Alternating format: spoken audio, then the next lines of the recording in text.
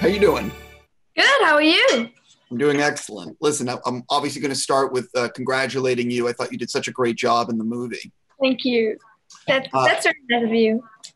Um, uh, you've obviously you've worked, you've made other projects before. I'm curious. This is obviously a much different experience because you know it's a big Hollywood movie. What what what? How did making this movie compare to the other projects you've been a part of? Well, I mean, sure, it was really different because um, I mean, I'm 12 years old uh, only, and um, already acting in Hollywood was like very amazing and also very different because before I shooted in Germany or Greece and everything, I, I mean, it was also terrific. Um, but now being opposite to Tom Hanks is sure such a big deal. So um, it was a great experience. Before shooting began, what was the sequence that you were nervous to film and which was the sequence you were super excited to film well, I mean, I was excited about the whole movie, but um, I was nervous to bite him, uh, like to bite Tom Hanks, because it was unfortunately on the first or second day, I think on the second day, um, so we did not know each other very good, and I started or had to start with biting him, so that was kind of funny. And then also, I was really excited to shoot with the horses and to get to know them.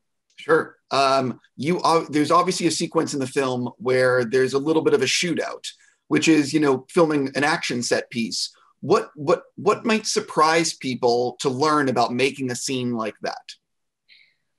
Well, it might surprise them that actually the whole thing is visual effect. So it is actually that um you sh- i mean you shoot parts of it but the whole thing is actually made up with computers so that might be interesting for people that um the pang and everything the sounds the hearing the guns and everything is actually all fake you're pulling back the curtain on movie magic i do right um I I love the old west, and I love watching westerns like this. Um, obviously, you're much younger than I am.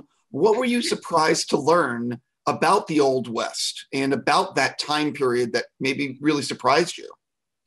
Well, I mean, one thing was really that I learned a lot from the Native Americans what was their story. And um, before i mean sure it's because it is actually the story of america i didn't know quite as well about it. So um, i think i really learned a lot about the native american people and about their story and their way of thinking in a circle and about what really happened because i think there are many stories you can tell about what really happened but it was interesting to hear from the people who really got through completely my last question for you um, obviously, making this must have been the most amazing experience. When you think back on the shoot, is there a day or two that you will always remember?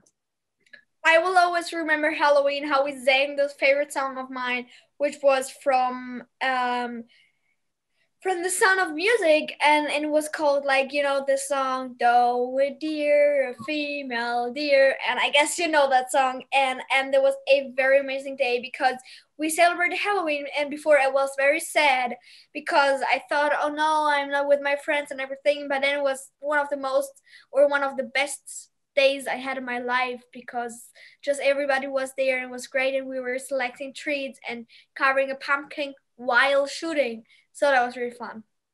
uh, that's amazing. On that note, I'm just going to say congratulations. Um, you did such a great job. Like I said, good luck with your rest of your interviews. Thank you a lot.